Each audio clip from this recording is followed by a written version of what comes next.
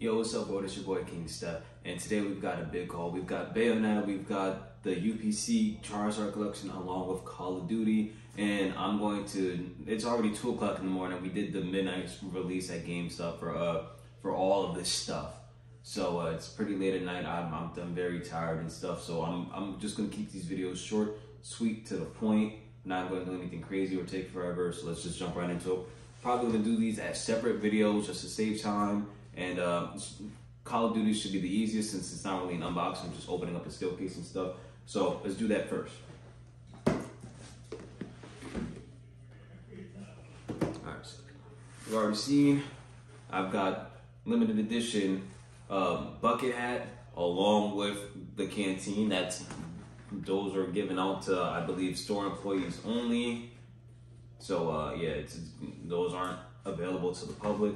We've got the steel bookcase.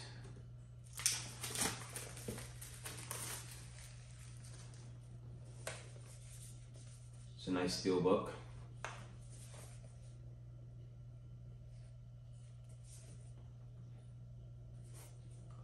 inside.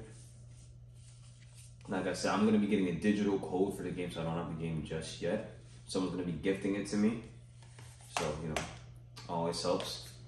People people see the videos and stuff, they love what we're doing so far. Uh, so it, it's good to see that people actually do enjoy the content, and that I'm not just wasting my time. I, I love I love the energy that you guys have been putting out and stuff. And last but not least, this beautiful poster.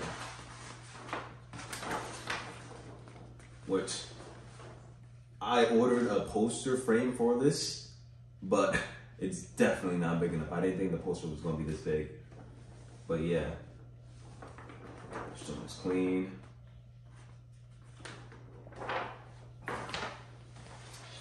And once I get the get my hands on the actual game, we're gonna be doing some uh, some gameplay footage on it.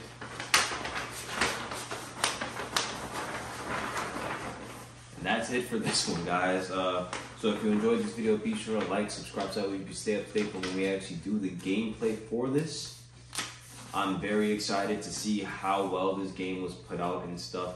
Um, I did play it a little bit as part of like you know the early access beta and stuff to the pre-orders, but I was from what it seems from the game developers is that they actually changed it up for the final product. They changed up a lot of the stuff, so uh, you know just that way keep things fresh and simple for us, fresh and new. And yeah, that's it for this one, guys. Be sure to like, subscribe. And I can't wait to see you guys there.